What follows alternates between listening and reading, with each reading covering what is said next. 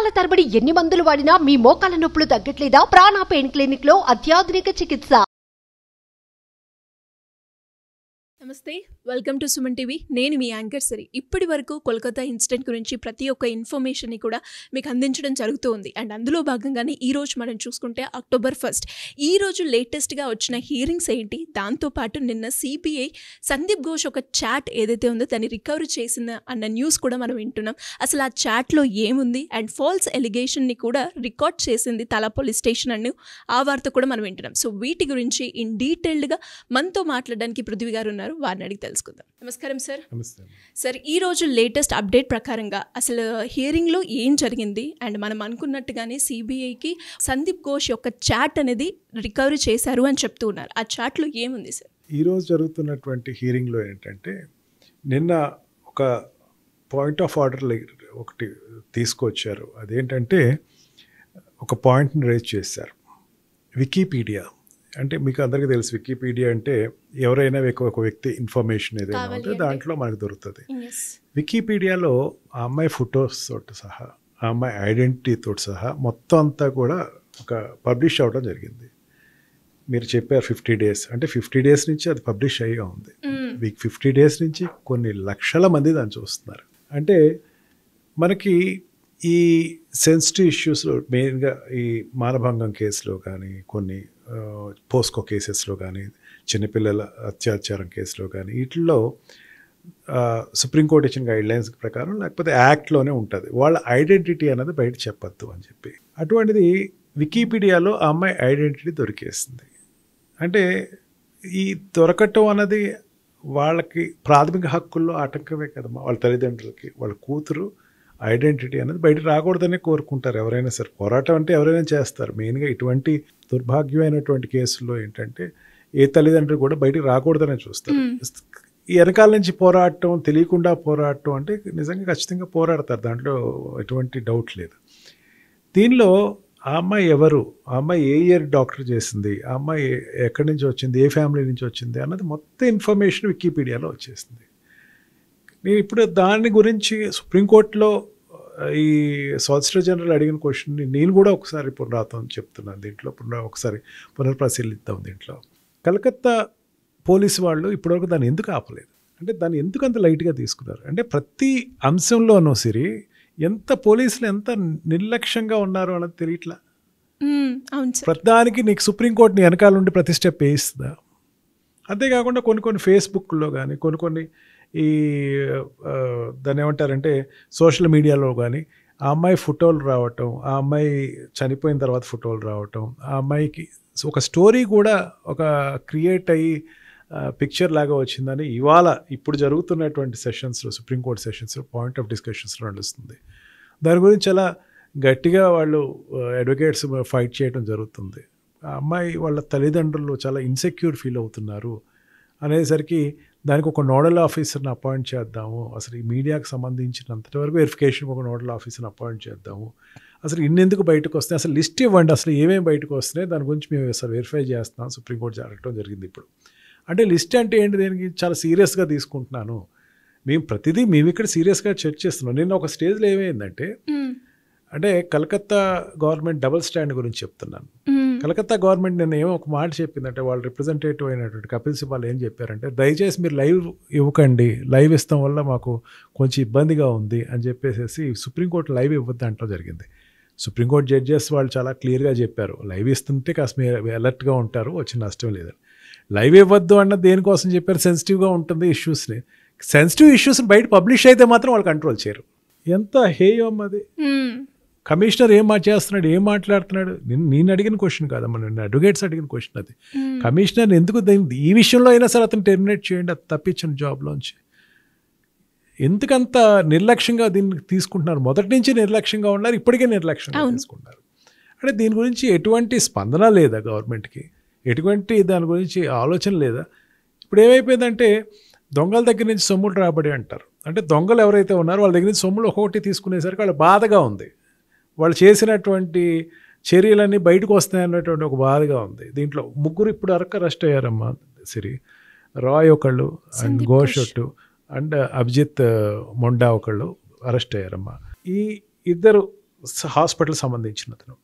హేయం ఏంటంటే కమిషనర్ ఎందుకు రిజైన్ చేయాలని చెప్పేసి అంత గట్టి గొడవ జరుగుతుందంటే ఎస్హెచ్ఓని కూడా అరెస్ట్ చేశారు. స్టేషన్ హౌస్ ఆఫీసర్ని అరెస్ట్ చేశారు. దేని గురించి అరెస్ట్ చేసి ఉంటారు? మామూలుగా జనరల్గా అయితే ఆ, తప్పిస్తారు విధుల నుంచి తప్పించడం సస్పెండ్ చేయడం టెర్మినేట్ చేయడం ఏదో చేస్తారు. కానీ అతను అరెస్ట్ చేయడానికి కారణం ఏంటంటే. ఈ ఉన్న ఎవిడెన్సెస్ని మాఫీ చేసి కొత్త ఎవిడెన్సెస్ని క్రియేట్ చేసి ఫ్యాబ్రికేటెడ్ ఎవిడెన్స్ అక్కడ కల్పించాడని అతను అరెస్ట్ చేశారు. ఓకే. అతను అరెస్ట్ చేసిన రీజన్ అది. సిఐని అభిజిత్ని అరెస్ట్ చేసిన తర్వాత నిన్న సిబిఐ. వాళ్ళు చెప్పడం జరిగింది. మాకు కొన్ని లీడ్స్ దొరికినాయి ఇది ఈ విషయానికి వచ్చి ఆ పోస్ట్ మార్టం సంబంధించింది కానీ కొన్ని ఆ అమ్మాయి కొన్ని కొన్ని వాట్సాప్ మెసేజ్లు పంపించడం జరిగింది. ఎస్ఎంఎస్ పంపి మెసేజ్ పంపించడం జరుగుతుంది. అవి కూడా రికవర్ చేయటం మేము చేసుకున్నాము. అవన్నీ కూడా దాని గురించి కూడా చేస్తాం.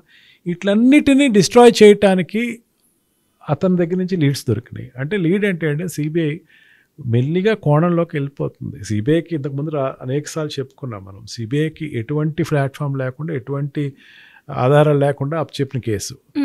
అతను అరెస్ట్ చేసిన తర్వాత ఎవరెవరు వెనకాల వ్యక్తులు ఉన్నారు అన్నది కనిపెట్టడం కోసం వాళ్ళు చేసే ప్రయత్నాల్లో కొంచెం సక్సెస్ఫుల్గా ఉన్నాము అని చెప్పేసి చెప్పడం జరుగుతుంది.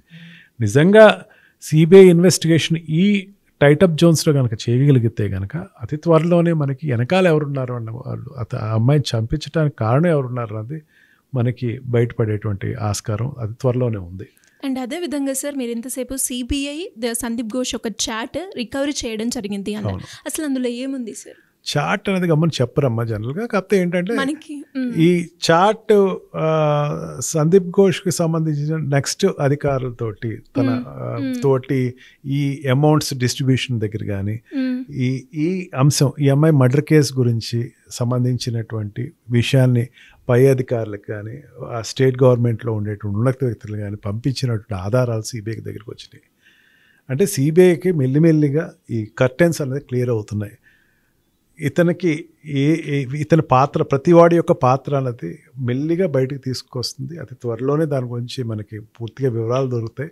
సిబిఐ ప్రతిదీ కూడా కవర్ తోటి అంటే సీల్డ్ కవర్ తోటి సుప్రీంకోర్టుకి ఇవ్వటం. జనరల్గా ఏమవుతుందంటే సీల్డ్ కవర్ ప్రాసెస్ అంట సుప్రీంకోర్టులో కానీ హైకోర్టులో కానీ ఏదైనా ఇన్వెస్టిగేషన్ చేస్తున్నారంటే సరిగ్గా చేస్తున్నారు లేదా మాకు ఎట్లా తెలుస్తుంది అంటే ఒక సీల్డ్ కవర్లో ఇచ్చి పంపిస్తారు. వాళ్ళు వెంటనే వాళ్ళు చూసి వాళ్ళు వెనక్కి పంపించేస్తారు. అంటే ఏదైనా ఓపెన్గా రివీల్ చేయరు బట్ సీల్ అన్నది హైకోర్టు కానీ సుప్రీంకోర్టు కానీ ఉండదు. ప్రతి సుప్రీంకోర్టు అడిగినప్పుడు ఇవ్వాల్సిందే. ఆ రకంగా వీళ్ళు పంపించడం జరిగింది. దాన్ని వెరిఫై చేస్తున్నారు.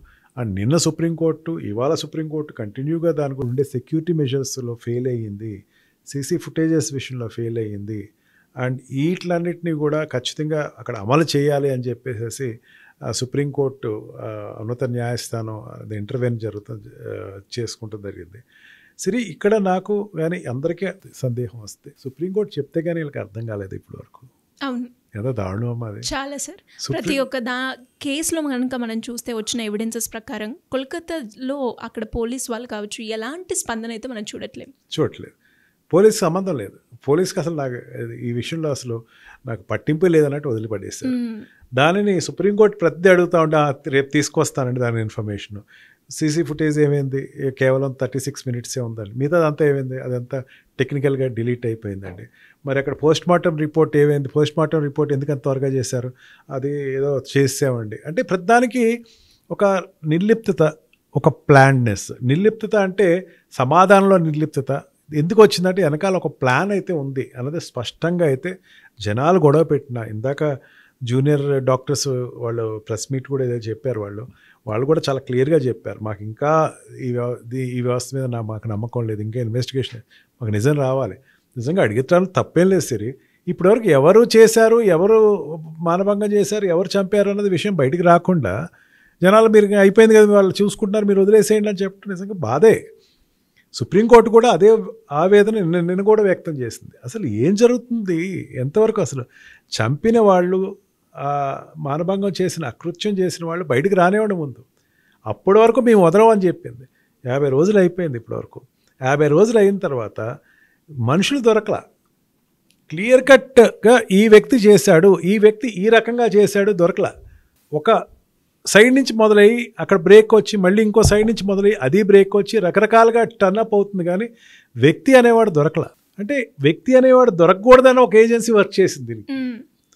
అంటే వాళ్ళ ప్లాన్ చాలా క్లియర్గా ఉంది. సందీప్ ఘోష్ గురించి మనం అనుకుంటున్నాం. సందీప్ ఘోష్ అంతకు ముందు ఆ ఘటనా స్థలానికి రావటం జరిగింది. ఘటనా స్థలంలో వెరిఫై చేయడం జరిగింది. నువ్వెందుకు వెరిఫై చేసావు దాని మీద ఇన్వెస్టిగేషన్ జరుగుతుంది. అతను ఒకటేనే ఉన్నాడా? ఇంకెవరైనా ఉన్నారా అని చెప్పి. అంటే ఒక అమ్మాయిని చంపాలని చెప్పేసేసి అతి క్రూరంగా ఆలోచించి ఒక పని చేసినటువంటి మేధావులు ఎవరైతే ఉన్నారో వాళ్ళకి నిజంగా ఎటువంటి శిక్ష వస్తుందో కానీ దాని గురించి ప్రతి వాళ్ళు ఎదురు చూస్తున్నారు. నిన్న అవును. సిబిఐ కరెక్ట్గా చెప్పిందమ్మా నిన్న.